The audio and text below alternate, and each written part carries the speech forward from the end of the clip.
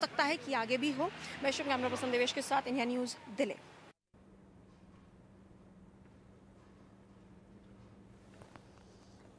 आम आदमी पार्टी का जोश इस वक्त ज़बरदस्त हाई है। पार्टी के नेता, कार्यकर्ता, मंत्री, सभी लोग काफ़ी खुश हैं कि केजरीवाल बाहर आ गए हैं। प्रचार प्रसार के लिए अरविंद केजरीवाल को समय मिल जाएगा। अरविंद केजरीवाल को जमानत एक जून तक की मिली है।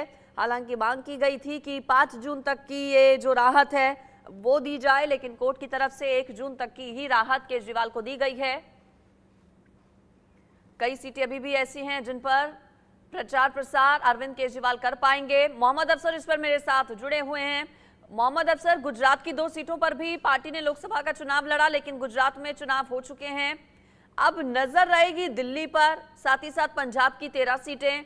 इसके अलावा हरियाणा में भी क्या प्रचार प्रसार के लिए अरविंद केजरीवाल जाएँगे? और कितना महत्वपूर्ण और कितनी बड़ी बात हो जाएगी आम आदमी पार्टी के लिए कि केजरीवाल अब प्रचार प्रसार में हिस्सा ले पाएँगे? इसका इम्पैक्ट क्या होगा?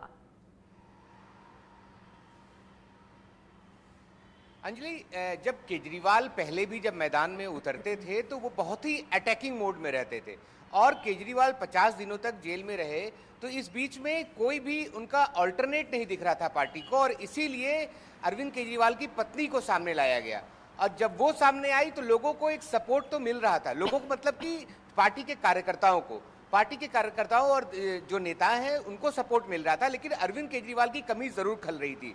लेकिन कल जब अरविंद केजरीवाल बाहर आ गए हैं तो उसके बाद पार्टी में एक जोश आ गया है। कल रात में ही वो जोश दिख रहा था, क्योंकि जिस तरीके से स्वागत किया जा रहा था, पटाखे छूट रहे थे, लोग चिल्ला चिल्ला करके बोल रहे थे कि अब जीत दूर नहीं है। और ये भले ही इसमें कितनी सीटों में कन्वर्ट हो जाएगा, ये कहना अभी मुश्किल है, लेकिन इतना ज़रूर है कि पार्टी के कार्यकर्ता और नेता अब जोश में है। और चूँकि आज पहले दिन ही, क्योंकि सुबह से ही लगातार कार्यक्रम है, पहले हनुमान मंदिर जाना है फिर ए, मीडिया को संबोधित करना है और कार्यकर्ताओं से मिलना है पार्टी ऑफ़िस में। उसके बाद पूर्वी दिल्ली में कैंडिडेट के साथ जाना है और फिर ए, उसके बाद साउथ दिल्ली में भी जाना है। हम्म। तो पूरा दिन ए, पूरा शेड्यूल व्यस्त है। और नो डाउट पंजाब भी जाएँगे तो पंजाब की तेरह सीटें भी बहुत अहम है। हम्म। तो क्योंकि उन पर भी पार्टी चाहती है आम आदमी पार्टी चाहती है कि तेरह के तेरह सीटों पर वो काबिज हो। तो पंजाब में भी इनका लगातार दौरा रहेगा। हरियाणा में भी दौरा रहेगा क्योंकि हरियाणा और पंजाब को लेकर के भी अरविंद केजरीवाल पहले भी हमेशा बोलते रहे हैं। हम्म। तो आज का दिन तो उन्होंने शेड्यूल बता दिया है और आज प्रेस कॉन्फ्रेंस में आगे का भी खुलासा करेंगे कि आगे वो कहाँ पर कैसे टारगेट करेंगे।